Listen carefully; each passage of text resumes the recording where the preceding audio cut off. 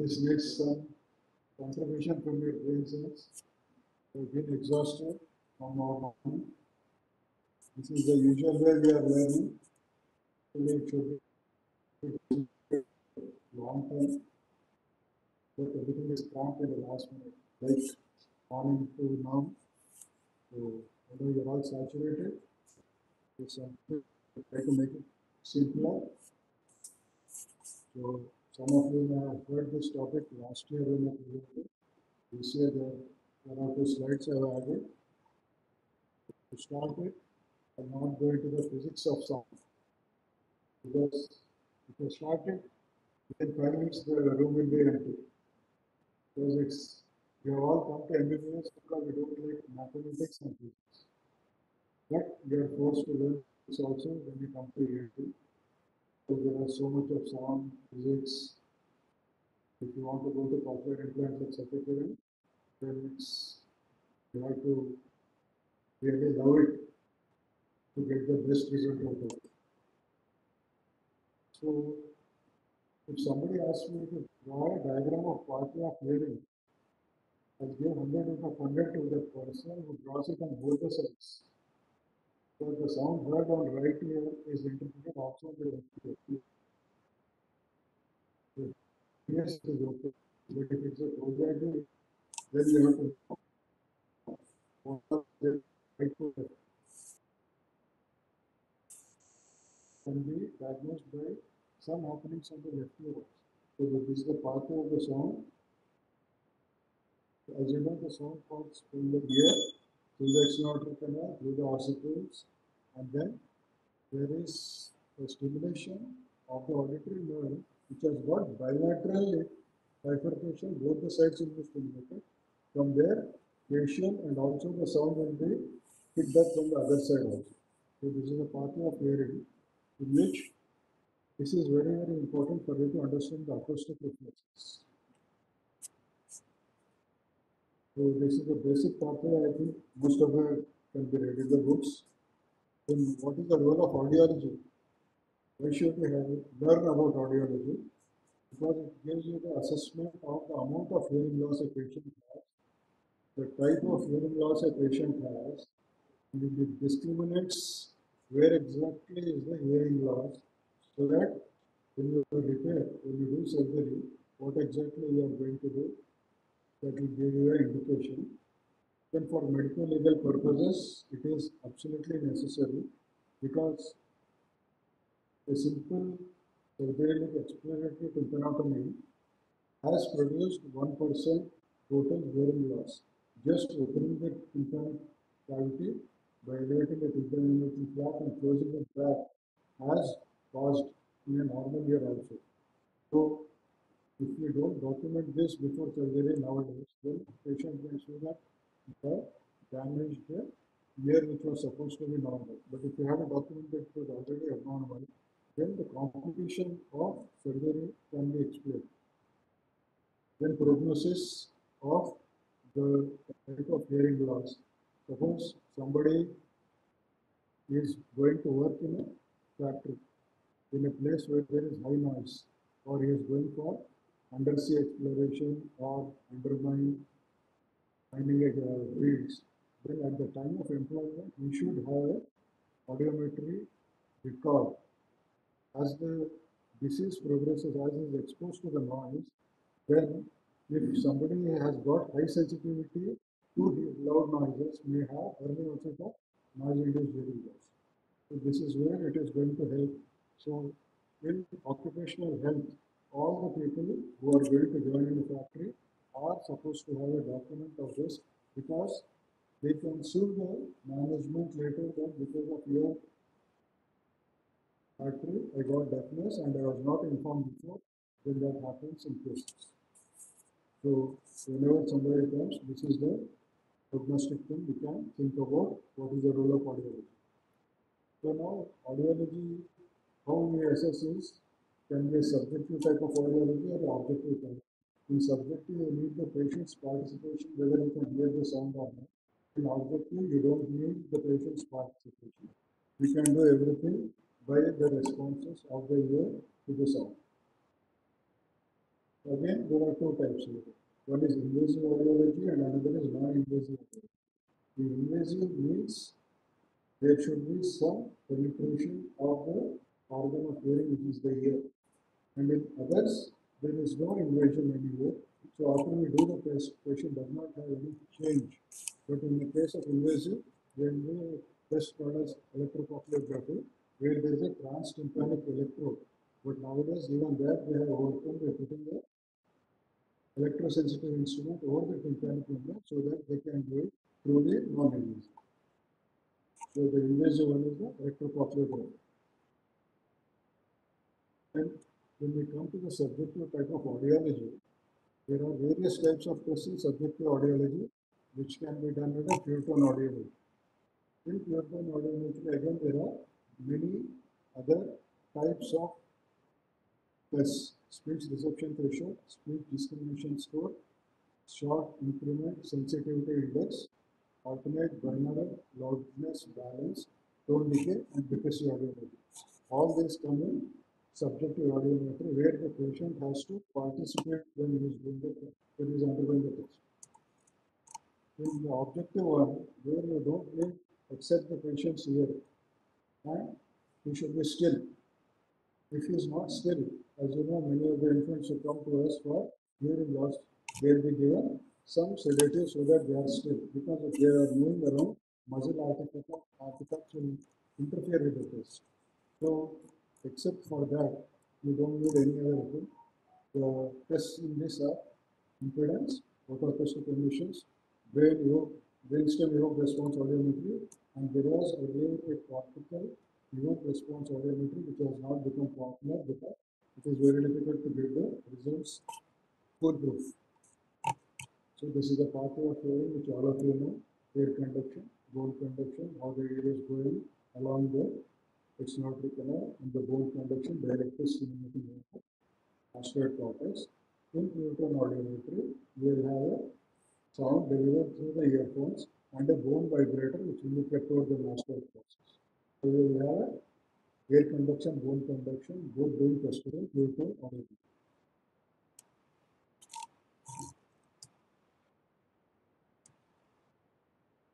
So without going into all the details, what is a? It is done in a sound treated room because it is practically impossible to make a soundproof room.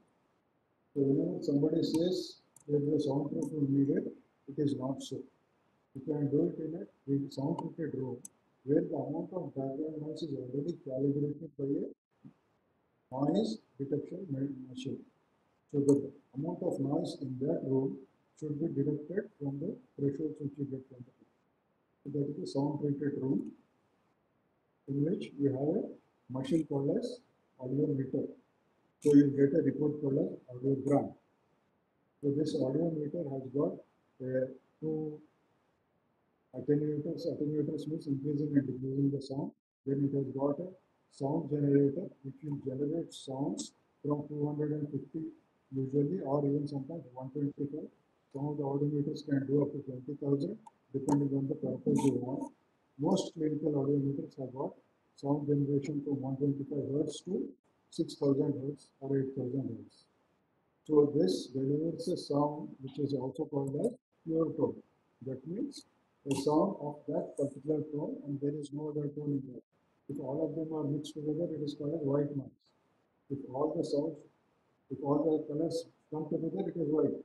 And when you separate the colors, it becomes different colors. In the same way, the sounds are shifted from all, all the white noise to different frequencies and each frequency is tested at one. We have 125, 250, 500, 1000 hertz, 2000 hertz, uh, 2000, 4000 and 6000. So the recordings which you get in a normal condition are air conduction and bone conduction. Most of the time they overlap and then if you find a audiogram in which air conduction recording is above bone conduction, you should never trust that because air conduction is always on the audiogram. Now I will come to something else. When you are doing a tuning fork, air conduction is better than bone conduction. But on the audiogram, air conduction is below bone conduction. So what does it mean? The depiction of the threshold on the audiogram is a negative logarithm of two reference sounds. There is nothing like zero sound. There has to be sound. So the amount of sound delivered, to the ear with reference to the sound and the threshold at which the patient hears the sound is recorded to the reference sound. Then what is a normal ear? Person 25 years of age, not exposed to any loud abnormal sounds, the thresholds recorded for that person at 25 years of age is considered as normal ear. So the reference is for that. So all these are references compared to a zero, zero or reference for us. So this is the reference.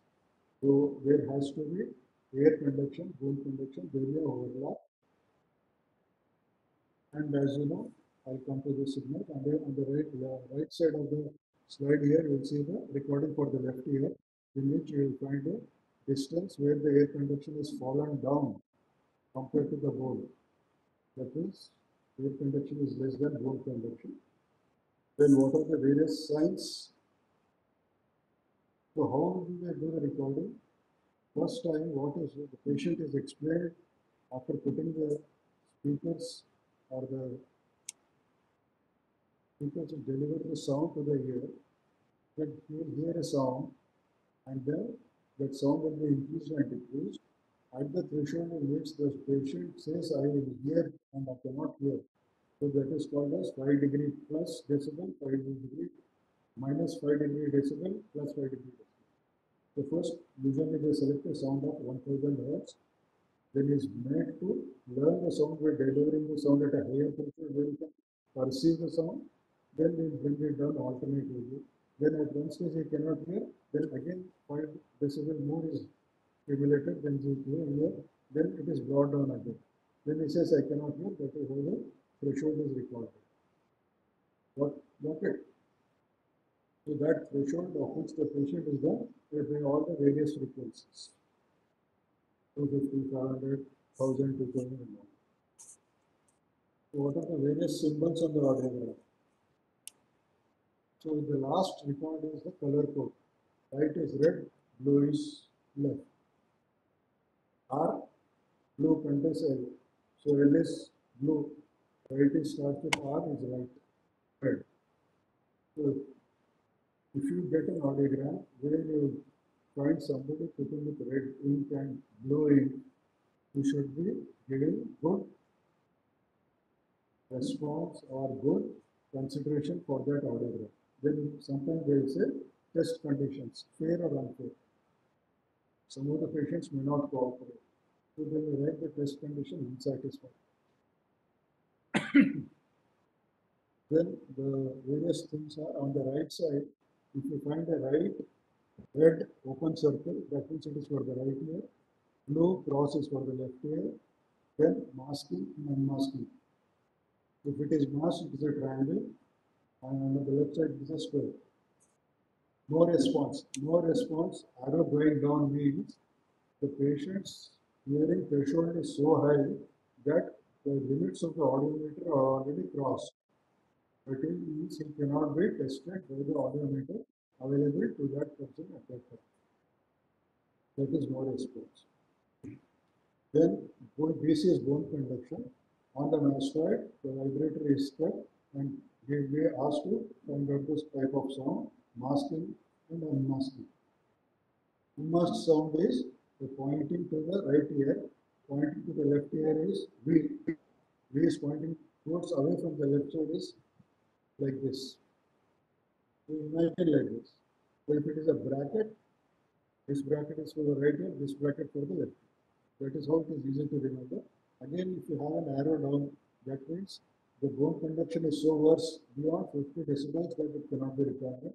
Air conduction is so worse that despite masking it cannot be recorded. Always. So when you get an audiogram, usually what is written here is if it is between 0 to 20, 0 to 20, up to 20 is considered normal. If you have the recordings in this, it is normal. then in mind between these two, moderate between 40 to 50, 60 to 70 is moderate, very severe profound deafness between 90 to 100. Okay, the recordings where they lie on the audiogram is the one which will tell you the degree of hearing loss. Then there is what is called as a speech banana, or in the morning they are asking why are you using 512 tuning fork. So the speech banana means the normal conversational voice which you use is distributed in this yellow banana type of picture. The other sounds which they make, the jackhammer, the Lloyd truck, and uh, the saw, and pistol, revolver, firecrackers, all are above.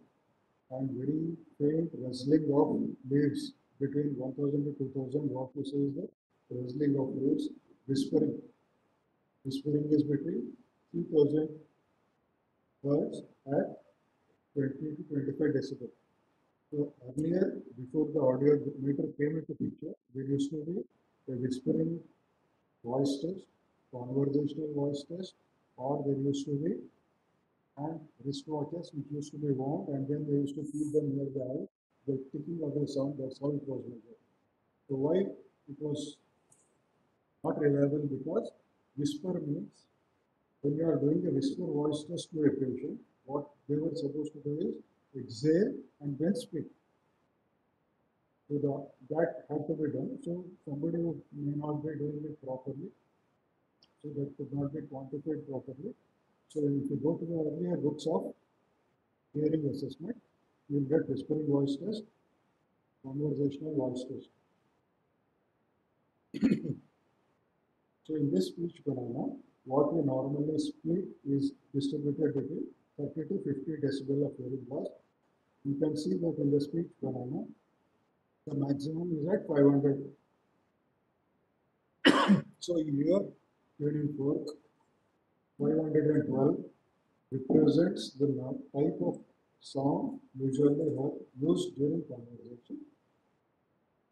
Once you activate the tuning fork of 512, it continues to deliver sound so that in the meantime you can complete the release test with induction bone conduction and also your absolute bone conduction.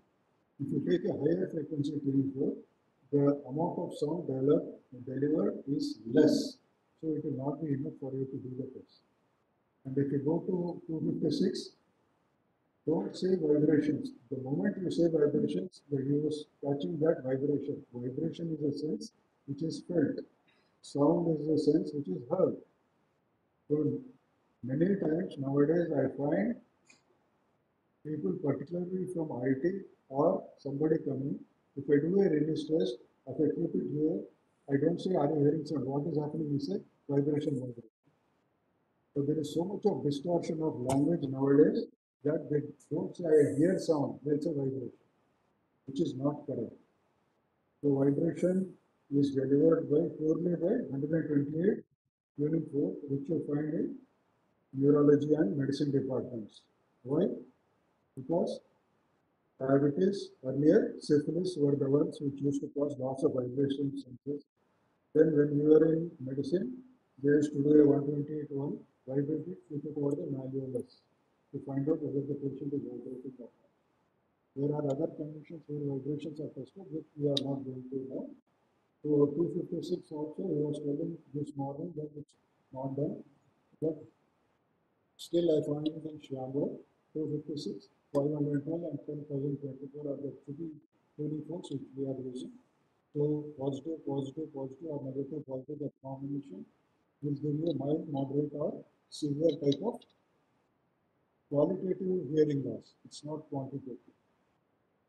It is qualitative, but they have tried to make it little quantitative by telling if it is heard by 1024, it could be mild, moderate and severe depending on the tablet quality. Okay. So now the speech banana is also useful when you fit a person with a hearing aid. His audiogram should come between this speech banana. Only then the patient will tell you, I can hear better with the hearing. Otherwise, you will not be happy with hearing what is PTA? PTA is pure tone audiometry. PTA is also pure tone average. So average amount of hearing the person has is calculated by adding the three thresholds at 500, 1000 and 2000 hertz and dividing by 3. So from tomorrow, when you see the audiogram given by our audiologists, they'll write right ear decibel, left ear decibel. How did they get it? So this is how they got it. Taking the average thresholds and then dividing by 3. So the amount of hearing on the right side, left side, they'll.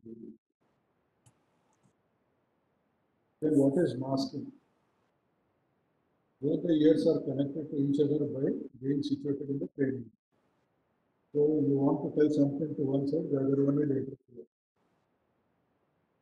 So the how to stop the interference from the other one whom you want to keep it aside, that is mask. So last time I told you something by thermometer, anybody remembers? Nobody remembers? Last time I gave you the example clinically to make MBBS students understand what is masking you. Anybody? No. Should I repeat? Repeat. You are a general practitioner. Get a patient of fever. Patient with fever is not telling the history. Attendant, attendant of the fever person is overactive. You want to take history from the patient. Attendant is trying to do something. So how do you mask that attendant? Keep a thermometer in the attendant's mouth. Then you can talk to the patient leisurely. According to your heart's content, that is masking. So delivering noise to the non-test ear so that the sounds meant for the test ear are heard only by the test ear. How do I remember this? Because we had a good teacher like Dr. Janardhan Rao, who in his duty by hearted the whole of audiology of Scott-Brown. And in his duty, we used to listen to him. So one day I thought I should do it. So that's how I learned from my audiology in the duty of radio. So when you take this line in Scott-Brown, it will be there. So sounds meant for the non-test ear, okay? So when do you do masking? Because both the ears are situated on the bone on the cranium, masking is necessary for all bone conduction recordings. Because when we do a reverse test, if there is a difference of 5 decibel between the right and left, only then it will be accurate. If the difference is less than 5 decibels, it will not be accurate. Okay. And if the difference of release stress right and left is more than 15 decibel, then patient will notice it. Because of that principle, masking should be done for all bone conduction recordings. For air conduction recordings, there is what is called as a crossover. So sounds, if you are delivering sound through the speaker to the right ear, it will cross to the opposite ear when the hearing of this ear is more than 50, then the other ear will begin to interfere with your pitch. So in air conduction, when the hearing between both ears is more than 50, then you can do it. If it is less than that, if it is 25, 30, crossover is not occurring, then you can take it that it is this is the ear which is giving the responses. Okay? Any doubts till now? Because last you will forget the doubts. If there is anything you want, any clarification, any anything to be repeated? So now we will come to the various types of audiograms you will get in your day-to-day practice.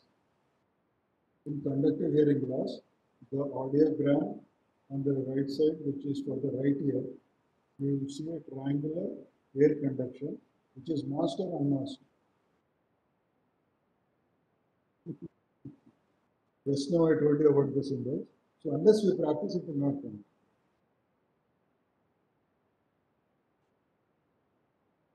I'll not go back, but when you're reading again on audiology, just be conscious of what you're reading.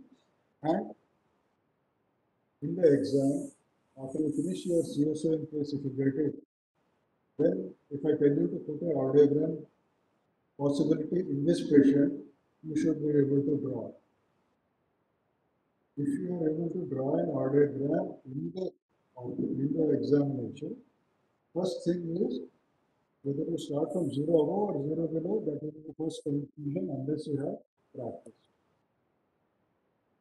You start from zero above and come down to 100 below, then 125 left to right, then carry two frames, put that, then you know that you know everything about that particular subject, you will not be asked anything more.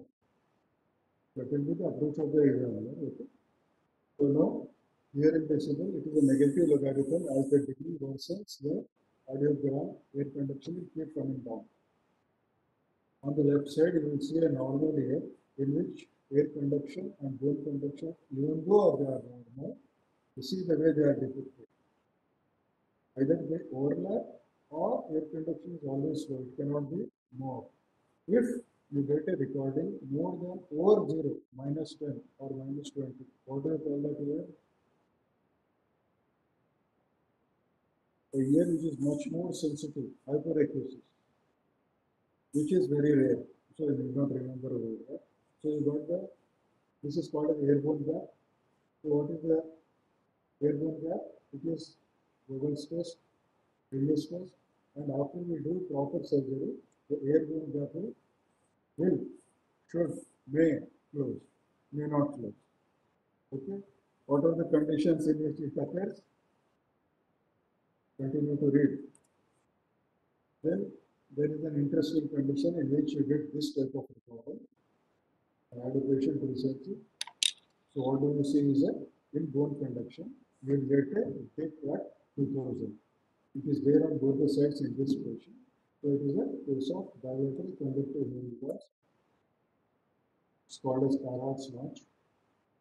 And somewhere I read that if the notch corresponds also in air conduction, it's a negative. So a true Carhart's notch should not reflect any change in the air conduction. Is it pathognomonic of otosclerosis? No. So what are the other conditions in which it can occur?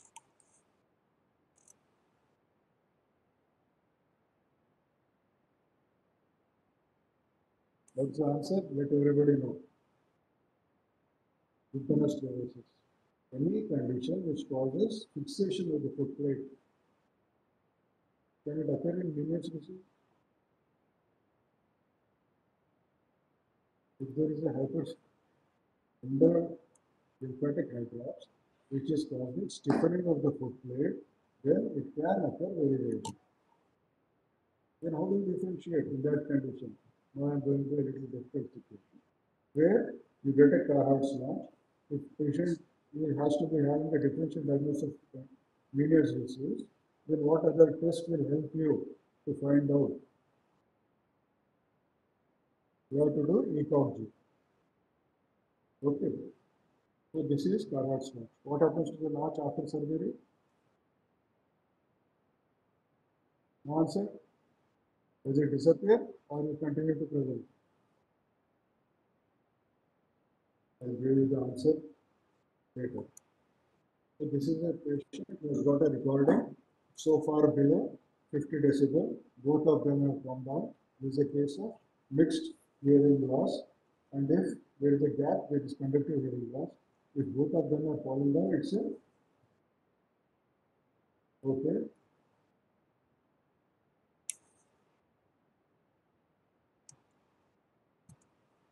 In a mixed hearing loss, bone conduction, air conduction, both of them should be more than 50 decibels. Otherwise, if it is, then what is the depicted is a moderate hearing loss, sensory neural type. If the bone conduction hearing loss is somewhere between 30 to 40, it will be mild sensory hearing loss. Get it? Then there is a diagram or audiogram called as cookie bite audiogram, which is found most commonly in congenital hearing losses, where there are islands of hearing loss in the mid frequencies. Then in noise-induced hearing loss, there is a specialty called as aviator's notch or 4 to HKH dip, where 4000 hearing loss is more. Why 4000? So high frequency. So high frequency, how I remember is high frequency is situated at the basal tone of the cochlea. So the cochlea promoter is the one which gets the main brunt of the noise. So that's why 4000. Here the data is it is both air conduction and bone conduction, both of them do. Okay, it's recording singing both. Then this is called as sky stroke, ski slope, where this is most characteristic of high frequency hearing losses of presbyopia. So what happens? The first up to 2000, he has got moderate amount of hearing. After that, he does not have any residual allowance of hearing. So the patient will complain of hearing loss, but he refuse to accept that he has got hearing loss. He will say, I can hear. So when you go very near to him, speak in very low frequency, loud voice, he says, I can hear. But when there is noise around, he says he cannot hear. This is what is normally the response of the person who comes to us with hearing loss and they do an audio monitoring and he refuse to accept. So this is the presbyopia I told you. Then previously, before EPOC and all, there was pure tone audiometry done in cases of high frequency hearing loss where they used glycerol to decrease the osmolality of the ear fluids. So once you do glycerol and decrease the osmolality, then patients will hear better. So that was the diagnosis made for linear species. So this is a glycerol test which is not done nowadays, but you can do it for completely. So how do you know that the patient has got linear improvement in thresholds by 10 decibels? Speech discrimination score will improve by 12 percent. Then there is another condition called as recruitment, which is seen in pure tone audiometry estimations, where what happens? Abnormal rapid increase in loudness in a ear with sensorineural hearing loss with recruitment uh, characteristic indicating cochlear pathology. It is the to damage of the outer hair cells of the cochlea. So it is seen by doing ABLB test and the SI SI test. ABLB is alternate binaural loudness balancing. So in alternate binaural loudness, increase in intensity of sound disproportionate to normal rate. So when you take this, this is called as a ladder diagram, in which in A, the left ear is normal, right ear has got a hearing loss of 20 decibel. As you increase the sound to 10 decibels on the left side, normal side, it corresponds the same way to the right ear. So there is a non-recruiting hearing loss. In the case of recruiting hearing loss, which is in B, the left ear is normal, right ear has got a hearing loss of 30 decibel. As you increase the sound, at one stage, the normal ear and the one with recruiting hearing loss, at one stage, the amount of increase in sound for the recruiting ear is much more. So how do you see it clinically? Whenever there is a patient who has got deafness, like this, an elderly patient, elderly persons at home, when you call them, they will not respond. When you increase loudness, they will shout at you, why are you shouting, I can hear. That is an indication of recruiting. Am I right? Right? Example is right. So this is day-to-day -day ENT for you. Day-to-day -day ENT, like ENT in occupations, where smell is tolerated by people working in mortuary, where the first bite of apple is sweet, after that it becomes bland. I'll come to another ENT day-to-day -day situation. So somebody says, don't shout, I can hear. So what is small increment sensitivity index? The normal ear cannot discriminate one decibel increase in here over a carrier tone. The carrier tone means suppose a thousand hertz sound is delivered to the ear continuously. In between, for one microsecond, there will be one decibel increase, one fifth. A normal ear cannot pick up. But an ear which can pick up will help you in finding out disease of cochlear pathology. So it detected easily by a recruiting ear. So that helps you in finding out the site of lesion. I'll come to you next. A cochlear hearing loss will pick up that. So what are the causes of cochlear hearing loss? Go to the book. So hearing loss, lateral to foot plate of stapes is conductive, medial to foot plate of stapes loss for us sensory neural. Now sensory is different, neural is different, auditory is different, and cortical is different. So over a period of 40 years, the site of lesion has changed. So that is called as differential limen in which one decibel increment in a carrier tone is heard. So the person called as Jerger has categorized, categorized these type of pits a person can hear. So a normal ear cannot make out the increase and the person uh, with cochlear lesion will pick up that pips 60, suppose 100 pips are given, after that the test is stopped. So if the 100 pips are given and the number of pips the patient is able to detect is recorded. If it is 60 to 100, it is a cochlear lesion. If it is 0 to 20, it becomes a retrocochlear lesion. That's how you out whether the hearing loss is cochlear or retrocochlear. Before the advent of uh, CT, MRI, everything. These were the earliest things. Now, because it needs subjects participation, and nowadays nobody has the patience to sit for all this, so they are all slowly going into disrepute. Okay, now we come to what is called as speech audiometry. In speech in filter audiometry, what happens? Only sound. In speech audiometry, you should be able to find out the meaning of the word. Just hearing the sound is not enough. It's not correct audiometry.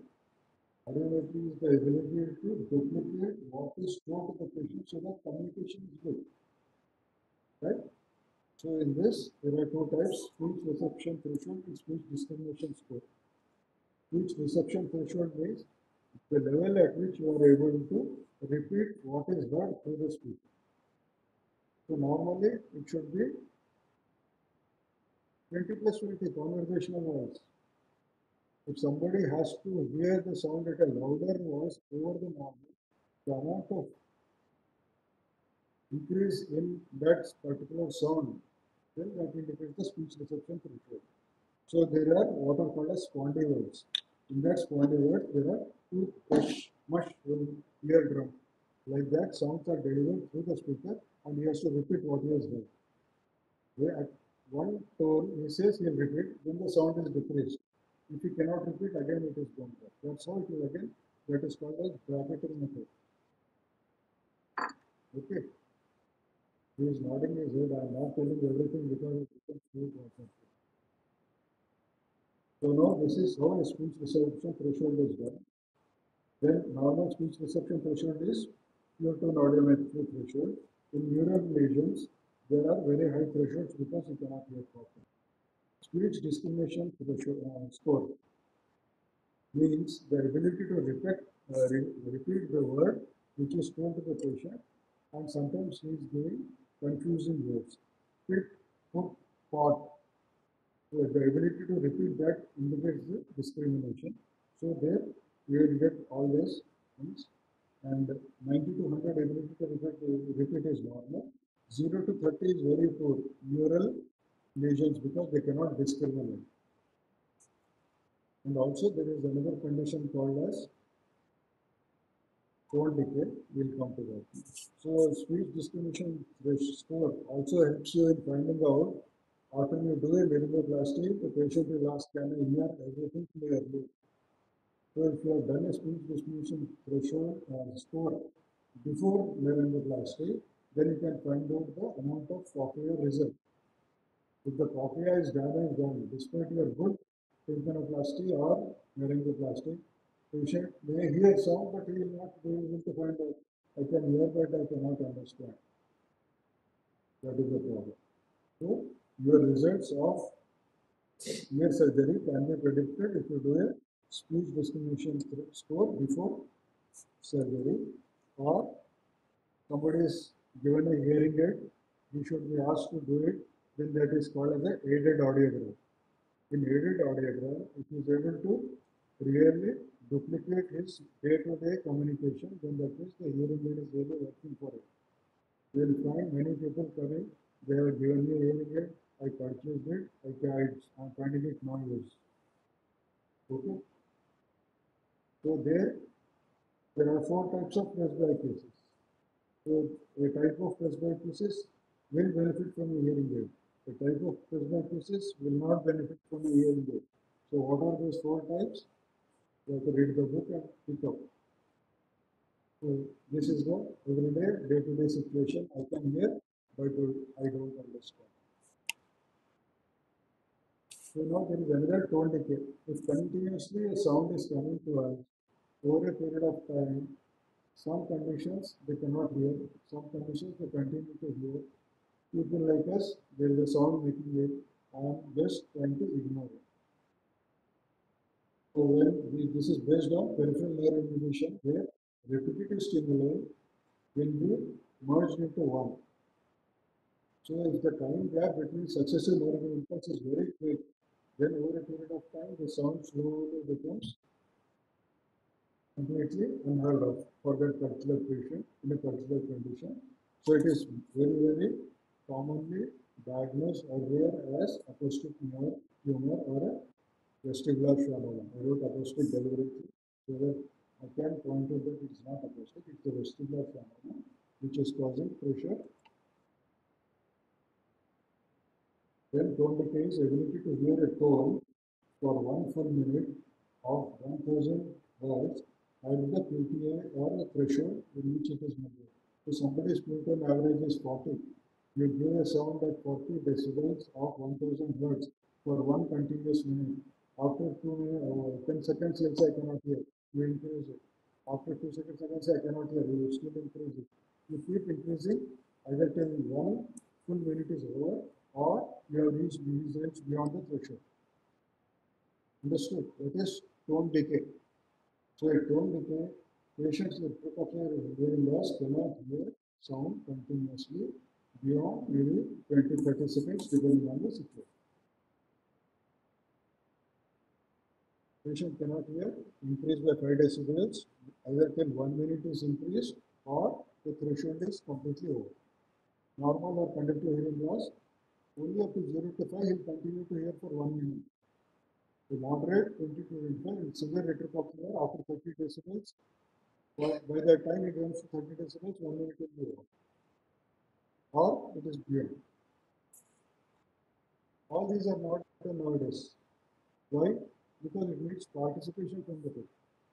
And by the time somebody develops decay, what is the condition of the internal meatus? The tumor would have gone beyond. Understand? Earlier there was limitations of electrophysiology. Why we are all doing first nowadays? Why 30 years ago, 40 years ago it was not done? There was no CT scan. There was no endoscope. So that ultrastructure, ultra anatomy of nose was lost.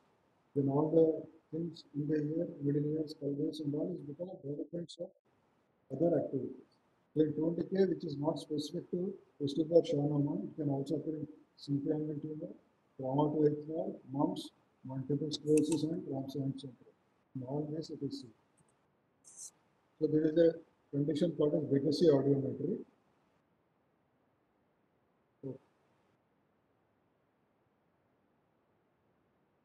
self-recording audiometer in which again a sound is delivered continuously by the audiometer. So if the patient says he cannot do, he will manipulate it himself. So the patient is the person who is going to manipulate the audiometry himself. So because of that, we will have some problems of relying on the results given the Békésy audiometry, so it is not used. So there are two types of sound, one is continuous sound, one is pulse sound. So then we will get a recording, which is again based on tone decay only. In neural lesions, continuous tone will be heard, will not be heard. So you will get in the first type 1, it is normal. In type 2, the pulse will come down. Type 3, the pulse falls down much more earlier than the continuous one. In 4, it will be parallel.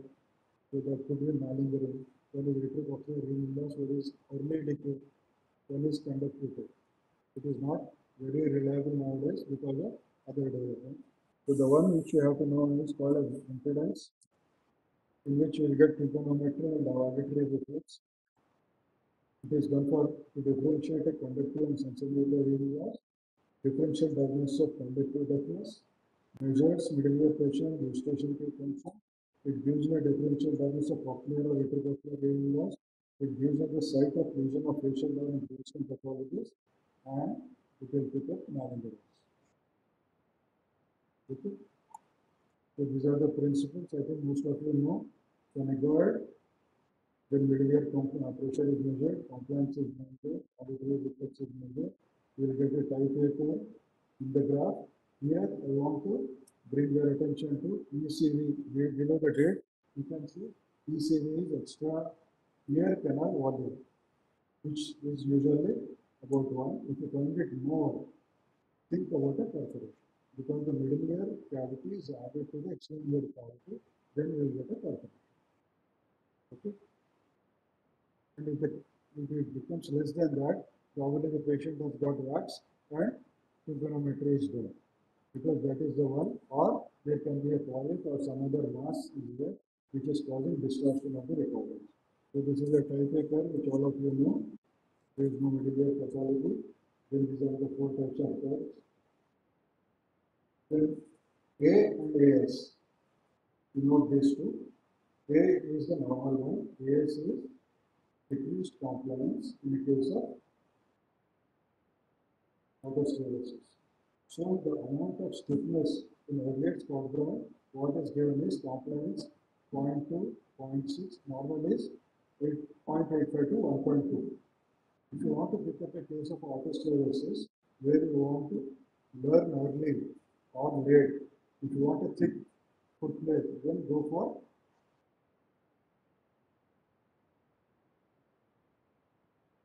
any idea?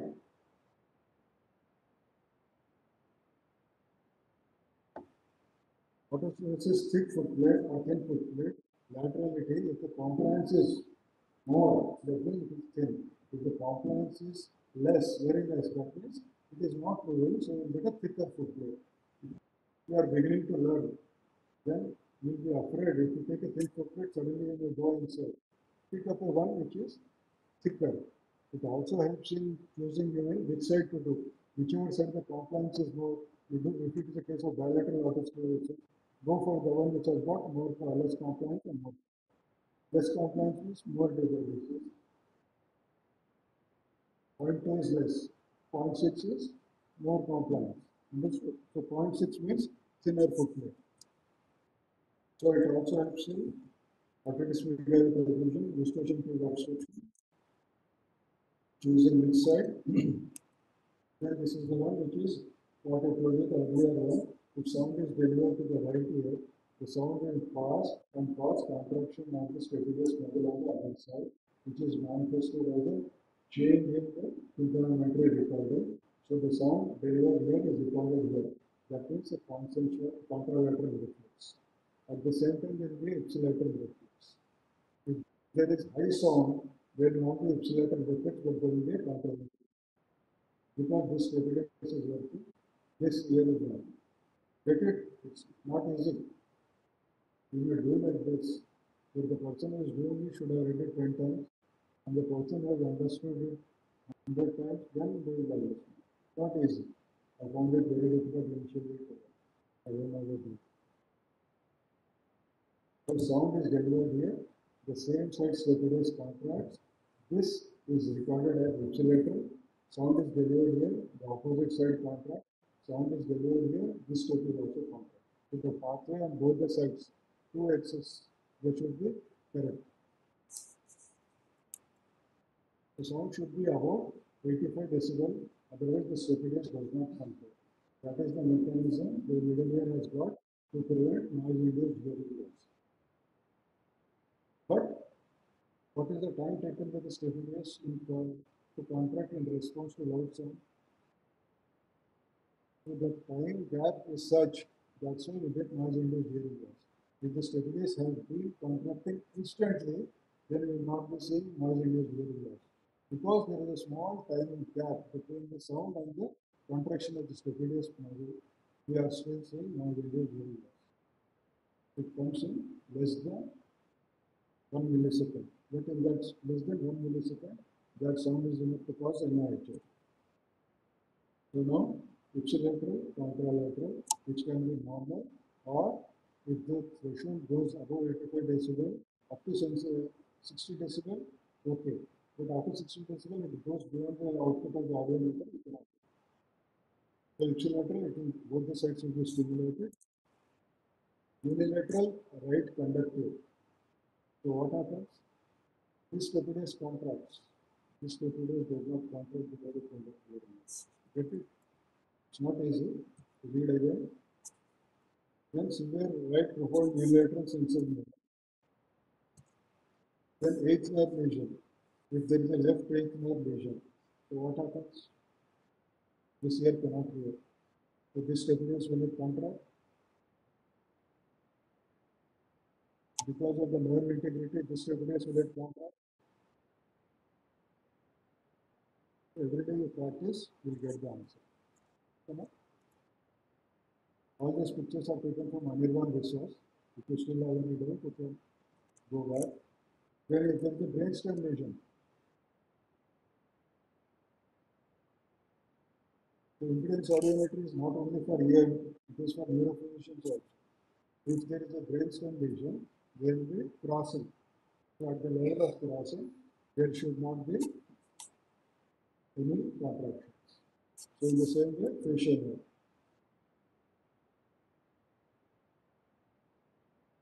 So again in vestibular trauma, auditory reflex decay occurs because again the same contraction will stabilize and as like cold decay, there will be absent stabilize reflex after about 5 to 10 seconds.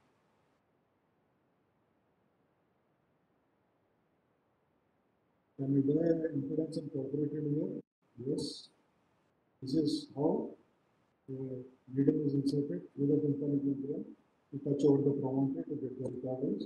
Then we will get cochlear microphonics, compound action potential, summation potential.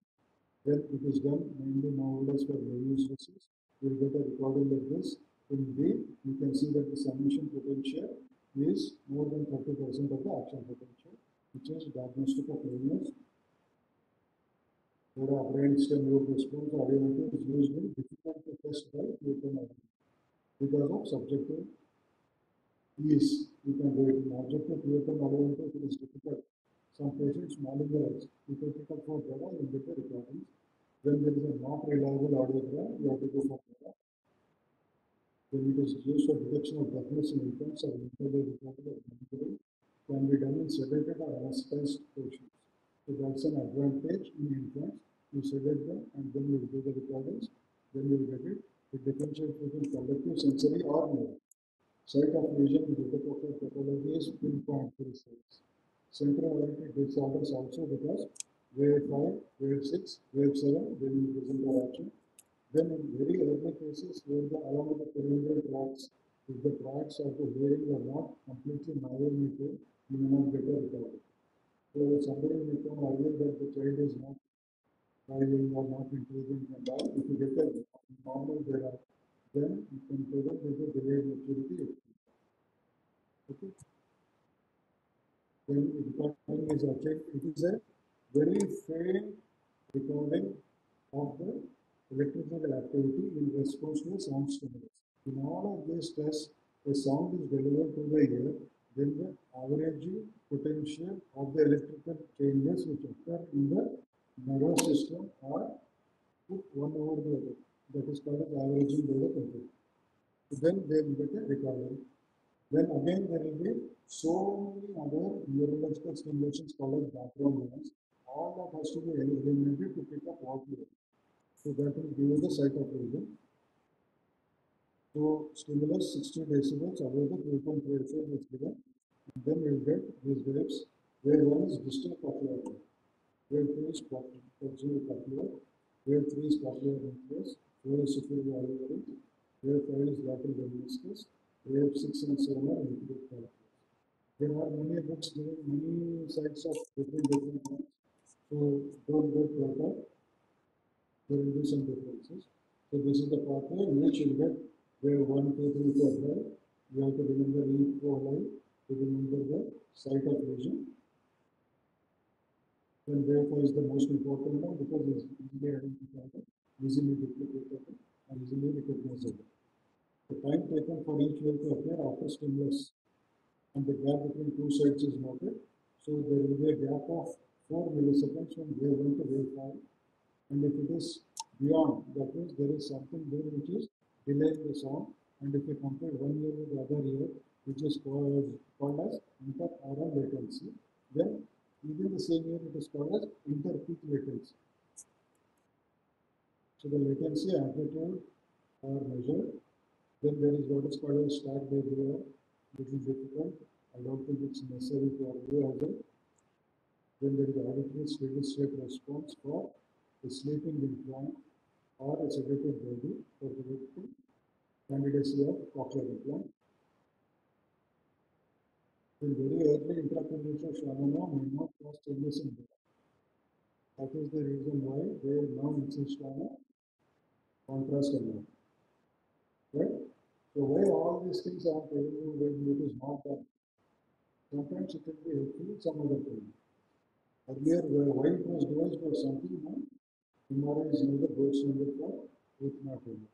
Earlier when I was reading those to for do what is called CT sonography, do a lumbar puncture, put air in the lumbar phase, treat the patient, let the air go into the internal auditory meatus, and then that is called air contrast system metrography.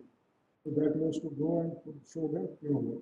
So it's an invasive one. You may put infection. Patient already has got one problem, and if you put meningitis, you had it. So all these things are just like usual. You know how to remember it. Then otoacoustic emissions. All of you know about this. Absent otoacoustic emissions.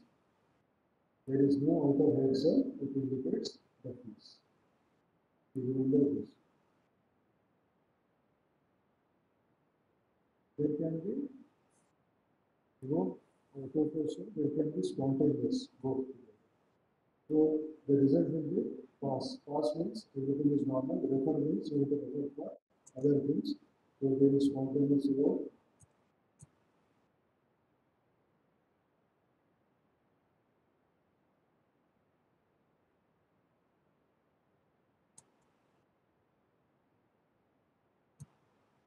So there is no single test to localize a site. Sometimes you need one or two tests to collaborate one another. Audiological data is needed for prognostic tests. Early identification is possible for available availability because if you, somebody is on chemotherapy for carcinoma, so stopping from developing deafness, you have to do autoplastic emission where whenever you are using cisplatin. So this is an audiology by ENT cycle for ENT cycle not for audio. Thank you.